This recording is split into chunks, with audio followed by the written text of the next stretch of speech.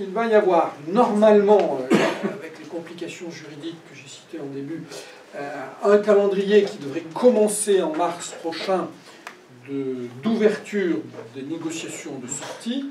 Il devrait durer deux ans et en mars, vraisemblablement le 1er avril 2019, le Royaume-Uni ne serait plus membre de, euh, de l'Union. Mais, entre-temps, devraient commencer des négociations sur le retricotage, le retissage des liens qui seront mis en place avec la, Grande-Bretagne. Quel texte, quelle référence, quel, accord, quel traité mettre en place. Or, beaucoup estiment que les deux calendriers ne vont pas se chevaucher parfaitement. C'est pour ça qu'ils parlent de, chute, de falaise, euh, entre le moment où les négociations, je dirais, relativement simples, entre la volonté de sortir et l'union, entre un État et les institutions, alors que de l'autre côté, on va avoir les 27 qui vont tous avoir leur petite hargne anti-britannique, leur malin plaisir euh, ou euh, français ou euh, maltais à bloquer un petit détail d'un accord sur tel ou tel élément, et donc laisser une période de vide relativement importante. Comment les 27 pourront-ils se mettre d'accord sur de nouveaux accords avec les Anglais, avec des volontés des Français de leur faire payer leur volonté de, de, sortir, avec la volonté sournoise des, fonctionnaires européens vexés de cette décision de supprimer toute piste de copier les Britanniques et donc de volontairement pratiquer un hard Brexit euh, aux dépens du, Royaume-Uni. Donc là, il va y avoir un, dossier euh, délicat. C'est sans doute pour ça qu'elle a, elle a nommé au Foreign Office euh, Boris Johnson pour essayer d'animer, de, avec son tempérament de feu, les négociations. Alors, quelles conséquences pour la France, si ce n'est toutes celles que j'ai déjà mentionnées, puisque vous l'avez vu, j'ai parfois un petit peu recentré sur ce qui peut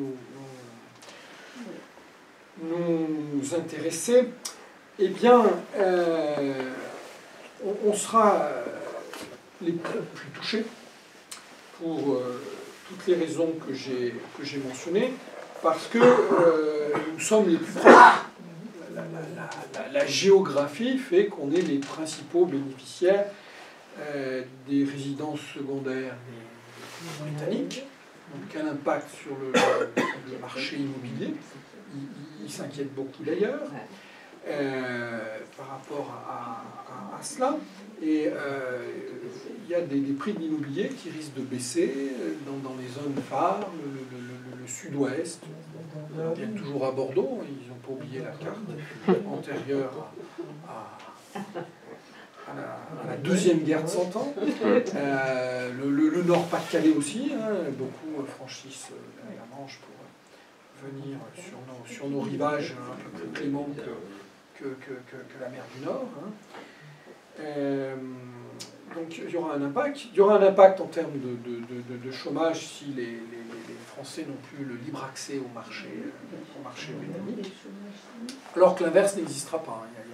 Il y a, il y a, il que marginalement des, Britanniques euh, sont soit des expatriés, soit des, fonctionnaires, soit des, détachés des centres de recherche, notamment à, à, Grenoble. Ils ne sont pas vraiment venus chercher de, de l'emploi. Euh,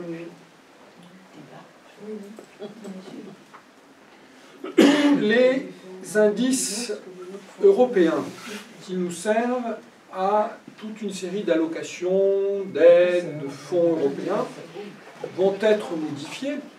Euh, Lorsqu'un riche s'en va, cela signifie que euh, les autres riches dont nous faisons partie à l'échelle européenne euh, eh bien, sont un peu moins nombreux et ont donc plus d'efforts de, solidarité à financer pour le nombre de pauvres qui, lui, a tendance à augmenter dans cette, dans cette, dans cette union. Donc le poids des aides européennes va vraisemblablement prendre une nouvelle dimension.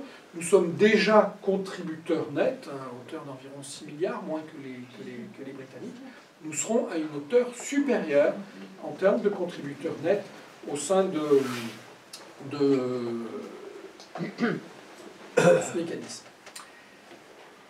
Nous allons aussi avoir un, souci euh, au sein des institutions européennes où euh, nous avions jusqu'à présent beaucoup joué la, carte franco-allemande euh, en profitant d'une double situation. D'abord, la volonté de, marginaliser les, Britanniques. C'était relativement pratique d'avoir un, pivot factice qui, demandait plus ou moins qu'à sortir, mais de l'utiliser pour raffermir ce couple et faire passer beaucoup de nos, points de vue. Donc, euh, désormais, l'Allemagne est dans une nouvelle ère. Elle, sort de, son syndrome, euh, si j'ose dire, d'Auschwitz, et elle retrouve sa volonté de puissance, sa capacité de, puissance, et elle n'aura plus euh, cette carte française qui lui dira attention, si vous ne restez pas avec nous, les Anglais vont s'imposer, etc., puisque les Anglais ne seront plus là. Donc la donne et l'orientation de la politique de la, de, la France, sans notre meilleur ennemi historique, eh bien, va nous poser de sacrés soucis quand euh, l'Allemagne retrouve une politique complètement ouverte vers l'Est, vers le Sud, euh, et non plus uniquement euh, l'axe Paris-Berlin, j'allais dire Paris-Bonn. L'axe Paris-Bonn est, est, mort, ou est en train de, disparaître. Le point au sein des votes, au sein de l'Union, va lui aussi être affecté, puisque le, le, poids britannique permettait aux grands pays de se fédérer et de bloquer ou d'avancer dans un sens.